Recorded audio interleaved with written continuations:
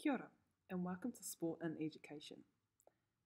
If you're interested in the pathway associated with sports, then this course is for you. The idea of this course is to develop your reading and writing skills through the theme of sports. This course requires you to have a general interest in sports and be an active participant in sports and fitness like activities. Therefore, you must be able to work on your own and alongside others. This course is available during the first and second semester. However, you are encouraged to only take this for one semester.